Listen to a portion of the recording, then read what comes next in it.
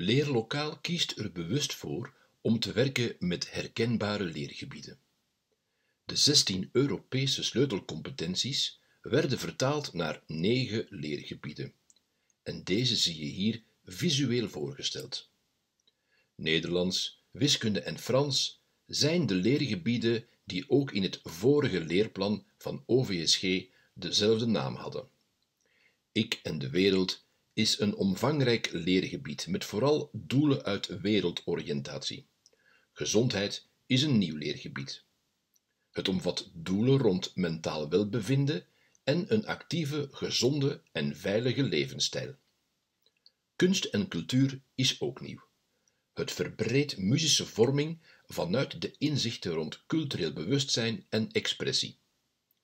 De leergebieden in het groen noemen we de transversale leergebieden.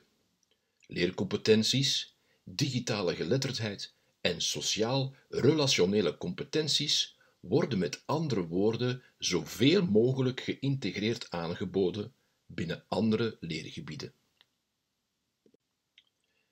Leergebieden worden uitgewerkt via thema's en leerlijnen. Op die manier zorgen zij voor structuur en overzicht in leerlokaal.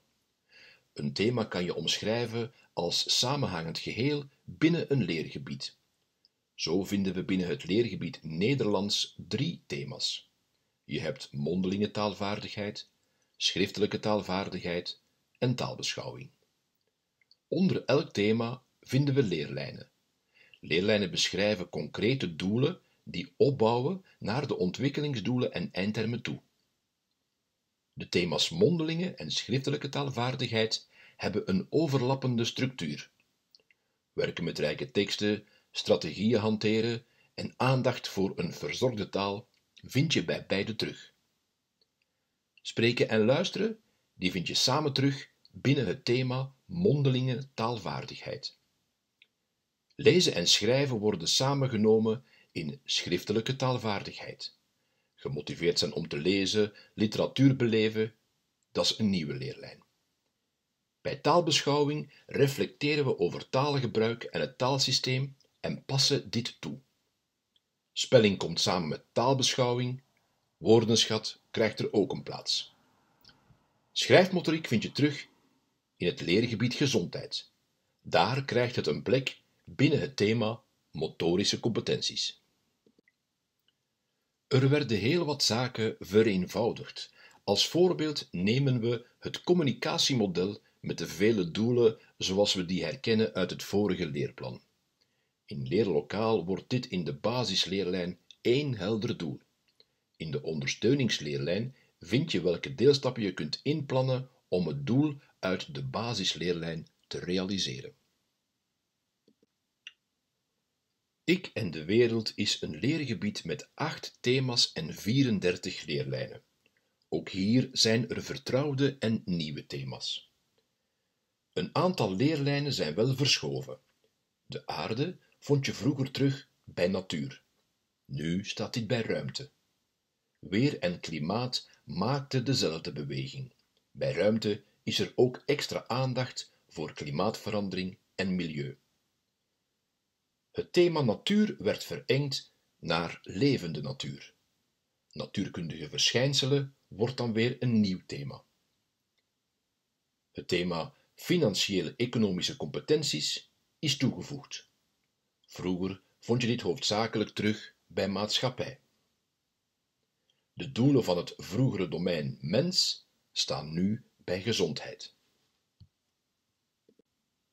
Binnen het leergebied wiskunde herkennen we vier thema's: getallen, meten, meetkunde en wiskundige strategieën en probleemoplossende vaardigheden. Enkele inhouden zijn verschoven van plaats, bijvoorbeeld afronden en schatten werden samengevoegd en overlappende doelen werden weggehaald. Cijferen is niet verdwenen, maar het telt wel heel wat minder doelen. Bij het leergebied Frans herkennen we net zoals bij Nederlands mondelinge taalvaardigheid, schriftelijke taalvaardigheid en taalbeschouwing. Dat is logisch, want een taal is een taal. De gelijkenissen voor deze leerlijnen met deze van Nederlands zijn dan ook groot. Talensensibilisering en taalinitiatie zijn opgenomen in de verdiepingsleerlijn. Gezondheid is een nieuw leergebied. Het omvat drie thema's en zestien leerlijnen. Binnen het thema motorische competenties vind je heel wat doelen van lichamelijke opvoeding terug. In een van die leerlijnen lees je kluske bewegingscompetenties ontwikkelen. Kluske staat voor kracht, lenigheid, uithouding, snelheid, coördinatie en evenwicht. Bij het thema gezonde en veilige levensstijl vinden we heel wat doelen uit het vroegere domein natuur terug. Bij het thema mentaal welbevinden herken je doelen uit de vroegere domeinen mens en sociale vaardigheden. Kunst en cultuur is het leergebied dat je vroeger vooral kende als muzische vorming. Het kent vier thema's en zeven leerlijnen, waarvan er drie transversaal zijn. Kinderen beleven dagelijks cultuur in hun omgeving, door hun creativiteit breed te ontwikkelen en cultuur te beschouwen, leren ze zichzelf en anderen kennen. Dit draagt bij tot beter samenleven en begrijpen van de wereld. Het thema beschouwen van kunst en cultuur bevat een transversale leerlijn.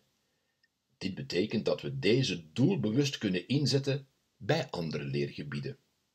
Deze leerlijn biedt kinderen de kans om cultuur vanuit een breed perspectief te leren kennen via beleving en onderzoek. Binnen het thema onderzoeken en creëren herkennen we de vroegere domeinen beeld, drama, muziek, beweging en dans. Media krijgt een plaats binnen beeld. De thema's creativiteit en presenteren zijn nieuw. Deze zijn ook transversaal. Kinderen presenteren eigen creatief werk binnen de leerlijnen van kunst en cultuur, maar ook binnen andere leergebieden. In dit voorbeeld zal je merken dat de vroegere doelen sterk vereenvoudigd zijn en bovendien helder en begrijpbaar geformuleerd zijn.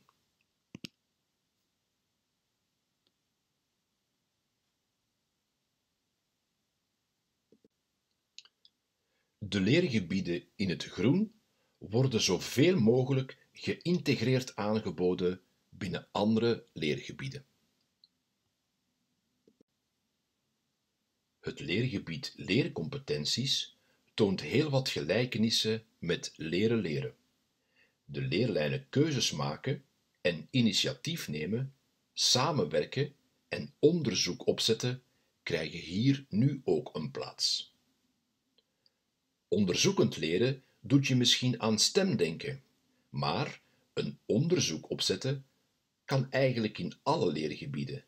Bijvoorbeeld onderzoek naar hoeveelheid neerslag bij weer en klimaat, of onderzoek naar hoeveel uur per week de gsm gebruikt wordt.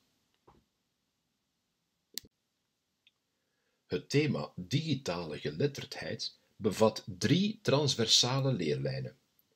Wie wil deelnemen aan onze maatschappij, wie wil communiceren met vrienden, wie wil participeren aan initiatieven, wie zich wil informeren of inhouden wil creëren of delen, heeft ICT-basisvaardigheden nodig. Vandaar ook deze eerste leerlijn. De tweede leerlijn, het computationeel denken, gaat over het vermogen om problemen op te lossen met behulp van ICT of door inzicht in ICT. In de leerlijn Mediawijsheid leert men kritisch, verantwoord en ethisch omgaan met media. Als laatste hebben we het leergebied sociaal-relationele competenties. Hier onderscheiden we drie transversale leerlijnen. Binnen de leerlijn Sociaal engagement leren leerlingen sociale vaardigheden in te zetten in relatie met anderen.